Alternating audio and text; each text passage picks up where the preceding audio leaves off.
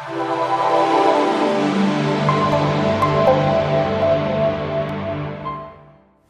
everyone. Welcome to part two of our mystery of the alphabet introduction.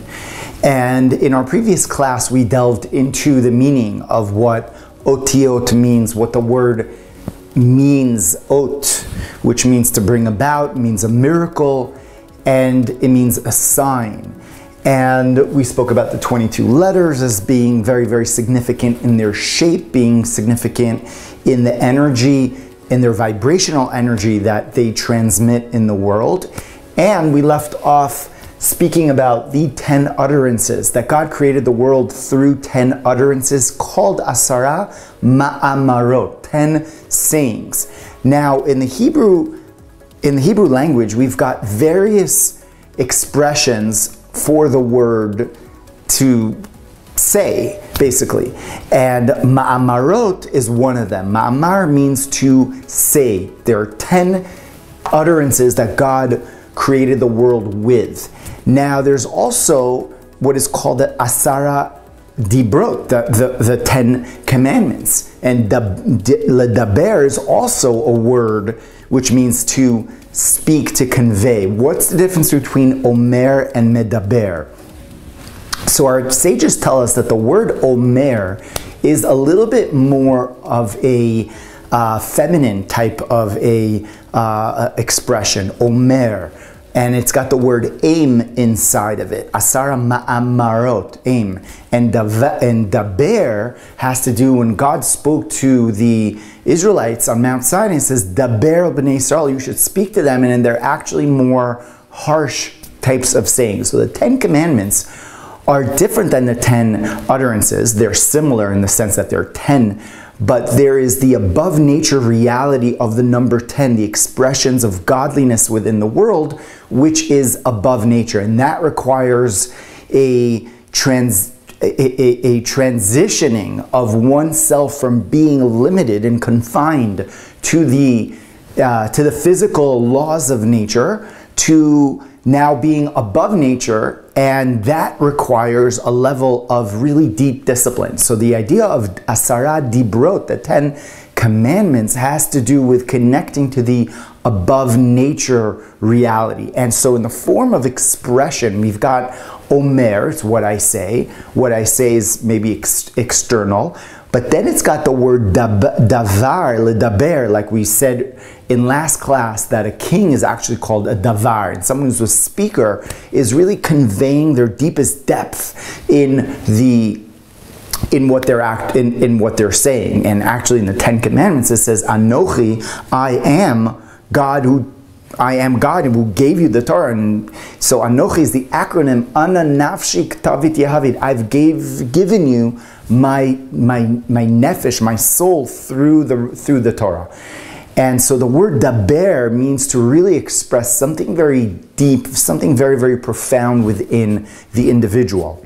Now there's another word which means lehagid, to say, to say over.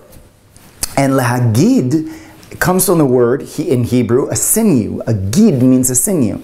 And lehagid is sometimes a very harsh level of expression. So while davar is a stronger way of conveying, but it's still, it's internal and it's conveying something very deep inside. While, while the word lehagid is to basically say it as it is. Like sometimes when you say it as it is to a person, so it may not sound so nice and polished, but you just say it.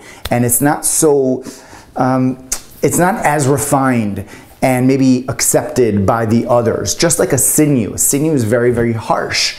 And lahagid means to really portray and to say something in a very um, direct form. And then there's the word um, which comes from the word sphera.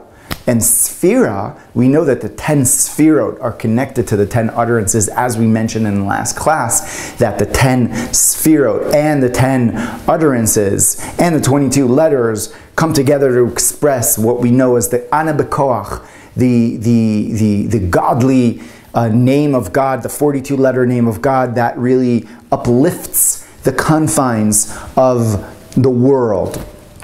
And so the, the word sphira, lesaper, means to say over, the, to convey, and to say a story. And so what's the difference between saying a story and being direct in what you say or conveying a deep idea or to say something over which is maybe a little bit external. To say over a story, everyone loves a story because a story you could hear it, you could listen to it, and you could connect to it on your terms, on, on whatever depth that you have in and, and form or level of, of understanding um, that you can connect to what the story is conveying, the people in the story, and, and whatnot. So it says that the 10 sfirot are expressions, are forms of expressions that God expresses himself in the world. And it relates in the word lesaper, to say over, is connected to the word sipur, which is a story, and it's connected to the word sefer, which is a book. So God is the is saying over, and a sofer means an author. So we're connected to the author, we're connected to the book via the um, uh, the the relations the, the the the relationship that is formed through the story. And it's almost like a, a, level of vulnerability. When someone says a story about themselves you know I went through this or I had that happen to me in my life. So you you're you're listening to that story and you you're like wow you know this person is is more human than I thought. And I could connect to what they're saying to who they are because they're conveying something and connect to the person, to the sofer, and the, and the kind of book that they're kind of like um, living, the, the script, sort of speak, that, their, that, that their life is on. You could connect to it via the sipur, via the story which is conveyed. So the sfirot are expressions of God within the world. So the Hebrew language is super profound and you know all these words really mean to, um, to express, and that's what the Hebrew alphabet really is all about, is expressing. And that takes us to the pathways of expression. Because in the, um, in our ways of expression, it says that there are 22 main uh, uh, teeth uh, that we have in our, in our mouth, not the molars and whatnot, that really are able to cut and to express um, ideas which are um, which which begin from almost an ethereal place within our mind, within our psyche. And as we said in the last class, there are letters on the thought level. And as we draw them down, we're almost we're able to like, you know, connect to those letters and bring them into a formalized way of expression. What we're doing is we are we are conveying what we uh, what we want to say from the ethereal sense um, in this in this world. And this really is the epitome and the essence of what man is all about. We are created as humans. We're called the min hamidaber, the one who's speaking, because in our ways we're different than the than the rest of the animal kingdoms and, and, and the other forms of life in the in the ability that we have to convey. So it's not just that we have I think therefore I am, or you know we've got you know great you know intelligence and whatnot but we're able to take that intelligence and bring it about into a formalized way of expressing ourselves. And throughout ancient cultures, the ability to formulate what we know into speech and into writing and reading and writing. And once reading and writing became a reality in the world, such as the, the ancient uh, Egyptians were the first ones to really bring that about, and the the Aztecs and you know had that, and the Assyrians, Assyrian language and whatnot. Once that was for, and, and the Chinese, of course, as well. Once that was brought down into a concrete way, so now it became uh, the world changed. The world changed forever because now we could convey ideas. We could take ideas. We could inter connect with each other and we could gain from each other. And that's a huge that's that, that that's a game changer for for world history and for mankind to be able to really take ideas and to take how do we take ideas? We can't read other people's minds. It's through those ideas being expressed either by speech or by being, being written down in a, for, in, a, in, a, in a written form. And so, so too on the godly level, God is infinite, as we learned in our classes on the Ein Sof, on the infinite light of God, and the whole Tzimtzumim, the, the condensations. God's expression in the world is likened to that of speech. He expresses himself and he created he creates the world constantly via speech. That vibrational frequency is a limited limiting um, characteristic and, and a trait that from the infin infinity of God, but at the same time, through that limitation, we are now able to have that space and we're able to have that connection with our Maker, with the Creator. And so the Alter Rebbe tells us in chapter uh, 21 in Tanya and in various other places that the form of speech, that the idea of speech, that God's speech is, is, is happening, and Baal Shem Tov says happening all the time, when we understand that in the way of that God is expressing himself and his speech is not independent of what is being expressed. The expression is constantly there, just like man expresses himself or herself, and there is the there's a revelation, there's an expression that comes through through that. So too we know, so to speak, the heart of the Creator by knowing what is being expressed in the world. And so the, the, our sages call the, the, the world itself are called going back to the ten utterances are called mile dehidiota it's called like the like expressions of simple expressions so to speak that for god it's simple to like create you know the 10 utterances. And in and in chapter 20 of tanya and, and, and in very in chapter 33 the Alter Rebbe tells us that God could speak infinite amounts, but he decides to speak in 10 utterances. That tells us how infinite, you know, how much more God could say. And so they're, they're, those are called like, it's like small change, you know, compared to what God is, is capable of expressing. But the deeper level of speech is the speech which is above the world, which is called, there's a speech which is below the, below the sun, like King Solomon says, that everything under the sun has has been there and and and, and its history re repeats itself right? Ein kol chadash tachat there's nothing new underneath the sun. But above the sun above the world and going back to that idea of the 10 um, the 10 dibrot the 10 um, commandments on that level there is that's already much greater because we connect to the to the speech and we connect to almost like the the, the, the soul of, of, and the will of the Creator, as we mentioned before, Anochi, I am, Ana Nafshi Ktavit Yavid, I've given my soul via the Torah. That is way greater, that is way higher than the simple speech of Mila Dehidiota called the speech of the ten utterances. So speech connects us to the speaker and therefore um, we know about the speaker because um, because of what they say and how they say it. So now that this brings us to the concept, the very fascinating concept of gematria. Gematria literally it, it, comes from a Greek Greek word means geometrica, which means ge, uh, geometry, connects the geometry, which means numbers you know, the science of numbers. And gematria is the numerology, numerology of the Hebrew alphabet. That each letter in the Hebrew alphabet, we have a letter Aleph. So the letter Aleph is the number one. The letter Bet is the number two. Letter Gimel is the number three. Dalid is four, and so on, up until we get to the letter Yud, which is 10. Now, past Yud, we count in tens. Yud, and then we have Kaf, and that's already 20. And then Lamed is 30, and so on. And then we go all the way to the letter Kuf, which is now 100. And so Kuf Resh is 200, Shin is 300, Tuf is 400.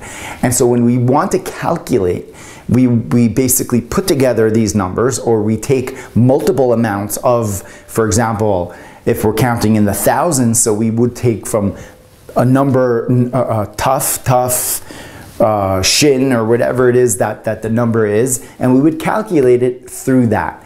Now, what does the gematria really mean? What is the gematria really telling us? So gematria isn't like some cute idea that, oh, it's, it's got that number and that number, that's amazing. No. God created the, wor the world through the Hebrew alphabet. That means that there is an interconnection between, the, there's an innate interconnection between everything in creation. And now we're able to know that through the similarity that many of the numbers have with each other. So the great Kabbalists knew that there is a connection. There's an innate connection. They knew that through the study of, of this profound wisdom of Kabbalah. And then they wanted to bring it about in a much more of a a tangible way. And so they knew that there is either they knew it or they, they were able to really investigate it on a deeper level and find the similarity um, between, between concepts and, and, and, and numbers. And they were able to bring together um, uh, um, the, the, the correlations between these concepts or these items or, or if it's or if it's um, um, even, even metaphysical beings, um, such as um, such as angels have numerology to them, and various angels are connected to various even physical aspects. Like for example, Malach in in the the numerology of Malach is 91, which has to do with 91 in numerology is a very important numero numerology, which which has 26 and 65, God's infinite name of, of the Tetragrammaton, and 65 is, is, is the name Adonai, and that relates and it connects the two. So um, an angel is able to connect the spirit, which is above the, the, the angel, and draw it down. And now it's the same numerology actually as Ilan, which is 91 as well. And Ilan is the tree, a tree of life basically connects to the, the physical world and it connects up to the, the highest heavens and you know as with it with its tree and what it relates to and so the on a spiritual level Ilan Ilan is is connecting to the to the to the earth which which the earth is an analogy of what is beyond us um, on the on the realm of malchut and then what is revealed within this world and just to go on with that 91 idea, that's the, uh, that's the numerology of Amen. Amen is when we say amen, amen to something. We're like, yes, amen. You know, what does that mean? So Amen is, is a great, um, a very powerful uh, um, word, because, you know, and, it, and it's not just um, affirming something that someone says, but it actually connects and it says in the Talmud that someone says Amen, it's greater than the person who even says the blessing. Why is that? Arizal tells us that Amen is 91, which take these two, takes these two holy names of Yud Ke Vav Ke and Adnai and connects the two, the above nature and the nature. Someone hears a blessing, they say Amen, they connect the above nature reality and the within nature reality. So that's just one example of of a very important example of, of the power of numerology to, to, to really correspond and to go through so many concepts at the same time. Now, the um, there are different types of numerology that we should know about. There is something which is called a milui. In Hebrew, milui means to fill in. And that means that when we have, for example, the letter Aleph, so the letter Aleph in numerology is one, right? But we could figure it out. We could say that actually the letter Aleph is a letter Yud over there and Yud over there, and together it's 26 if we figure it out that way. Now the Milui tells us like Aleph, if we would sound it out, enunciate it, then we would get this. We would get Aleph, Lamed, and then the Pei, which together is and 1, right? So we would get basically 1, 1, 1, which is a very powerful number because 1, 1, 1 is true on the, on the hundreds, on the tens, and on the ones. It all has that 1 which is there. And the letter Aleph is the number 1 on all realms, on the realms of the which brings us into an idea of what the what singular number double digits and triple digits and thousands as well what they represent. So they represent higher forms of consciousness. The single digits are the single digits which are you know which are more like we would say in this world. They're they're limited. They're small. And the, the double digits are now within the world of what we call bina they're, they're above, they're more understand, they're, they're, they're chokhmah and bina, like it says about Sarah. Sarah was, when she passed away, she was 100 um, uh, uh, and 20, um, 120 20 represents the chokhmah and bina, and then she was um, 7. 127, 7 represents the, the, the, the, singular numbers. But the letter, but the hundreds are now the, the levels of what we call arich, like above nature. They are, they are the, the, meta, they're the metaphysical. And when we go to the thousands, that's even more. That's almost the, le, le, that's the realm of Atik, that's really above nature. So that's one way of understanding it. There is another Kabbalistic tradition that actually we go the other way that the more that as as we go more to the qualifying singular element, then we're we're really quantifying the number itself. And so when we get to the number one, we're really qualifying the essential truth, the kernel of truth on the highest level. And as we're going to the multiple digits, we're going to more of a condensed level of, uh, of expression, which really is it, tells us what what uh, gematria is is is all about because the, because aleph is one, bet is two, and we get to the letter taf, it's 400, which says the the Israelites were meant to be in Egypt for 400 years, representing the 400 levels of concealment, and it's con- it's a condensation of the number one on very on, on a very extreme level. So the number one so looking at it that way, the number one is the most is, is the most clear. When we have Aleph, it's like it's like you know it's just this level of clarity, and we have Bet, it's it's, it's less clarity because it's Aleph twice. So you sort of don't see the Aleph clearly in and of itself, and then you go on and on to the letter Taf, and then it goes to level thousands and so on where it becomes more opaque and more distant from its source. So that's a different way of viewing um, the uh, what we call uh, the, the, the, the, singular tens and hundreds. But going back to the concept of milui, you know, so it's understanding that each letter, we, if, if we spell it out, it's got an inherent numerical value. So the, the word itself has the value, but then the word, if, we, if it's spelled out, has a numerical value. So this is very, very important when it comes to the expression of God's names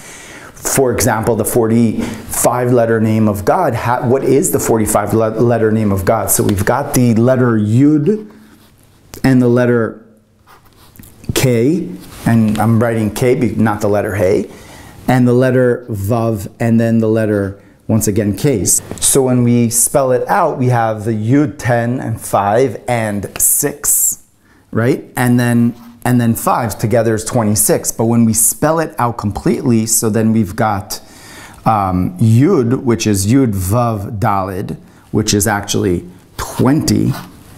And then we've got a, a, a, a Hey, and if we spell a Hey out, we could spell it out with an Aleph or with a Hey. Um, and that makes a difference because if we spell it out with the letter Aleph, so that so then we've got um, 6 over here. And then if we've got Vav, we could spell it out with a Vav Vav, which is 12. And then a Hey over here, which is, again, the number 6. So altogether, we would, we would get um, and we would add the letter aleph over here, that would make it uh, 13. So we would get basically the 45 letter name of God if it's spelled out with the letter aleph. Now, if we spell it out with the letter hey, then we would get um, the 52 letter name of God. And if we'd spell it out with uh, yud, so you'd have yud, hey, and then have, have the yud in it, and then vav without the yud, and then hey with a yud, that we would get the 63 letter name of God called sag, but then it, we would get the 72 letter name of God if it would be added to the letter uh, vav, so it would be vav yud vav, and together 72 letter name of God. So this is called the milui, and there's different, there's milui of milui and, and so on and so forth, which is basically this condensation of God, of the godly frequency which is found within everything.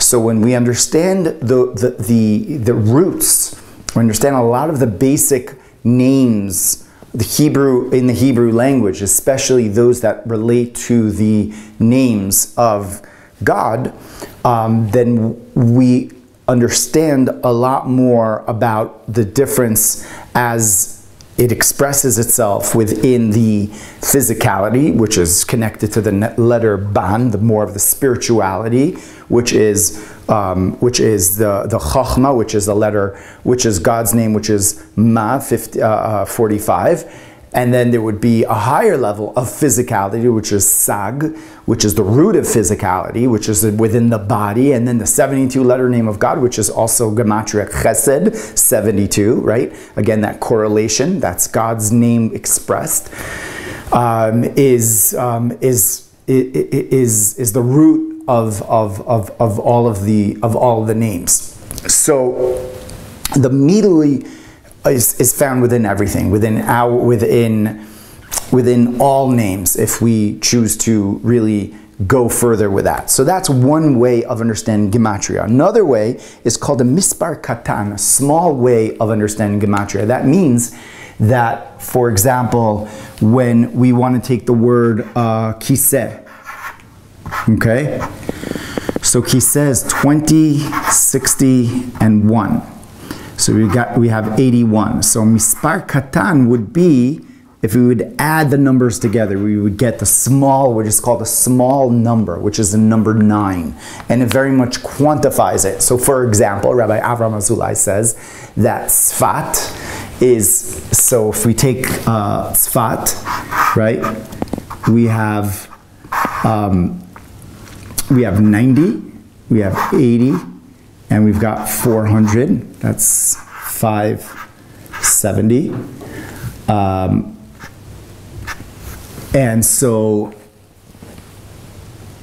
so in the uh, a certain form of mispar katan, we would get um, we would get basically the number um, 12 or that's one way of looking at it or the zero would be added and it would be made into 22, which he says that over there, that the 22 letters of the alphabet are very much intertwined with Tzfat itself, with the city, and the learning of, especially the inner learning of Kabbalah, is found in the city of Tzfat. So that's an example of a mispar katan, just quantifying the number, crunching it, and it's got an inherent value to it right there.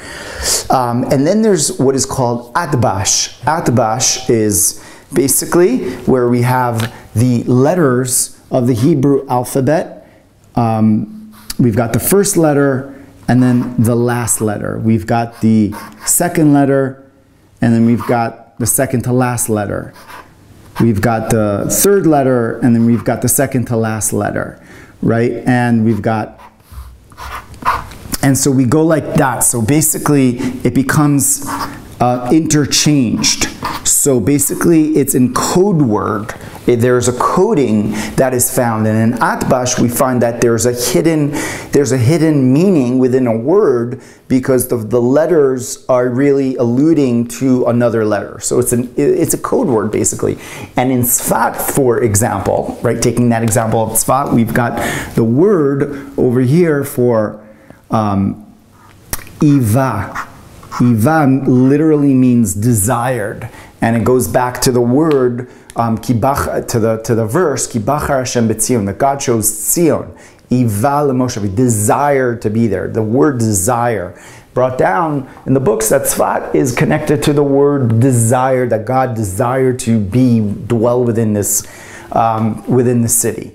Um, so that's, um, in short, the idea of atbash. So we've got different ways of permutations in gematria, a fascinating way of really understanding what the inherent value of a word means and how we can understand that all words are really connected in their numerology uh, on their on their numerical level because essentially the world was created through this this frequency of of the alphabet and through numbers. And so we've got this almost mathematical way of understanding um, words and understanding God's ways within the a very scientific way. So the great Kabbalists were really in many ways mathematicians. They really were able to just quickly, you know, do the numbers on, on, on numerology, connect them and meditate on numbers as they relate to spiritual concepts and, uh, and connect um, on, on, on, on these levels. So uh, uh, extremely profound way of, of connecting to Torah, connecting to the alphabet and, uh, and gives us a little bit of an inkling, a little bit of an insight uh, into, the, into the hidden world of, the, of, the, of, of Gematria, which is really a whole world in and of itself. So with that, we have completed our first class, our first introduction to the Hebrew alphabet. I hope you enjoyed. And, I, and, um, and in our next class, we are going to go into the vowels and their very significant uh, meaning uh, in the whole expression of the, uh, of, of the language of the Hebrew alphabet and on the, on the spiritual level and how uh, God expresses himself through the uh, the vowels and what they mean and and the 10 sefirot that are connected to the to the vowels. Wishing you a beautiful day with many blessings.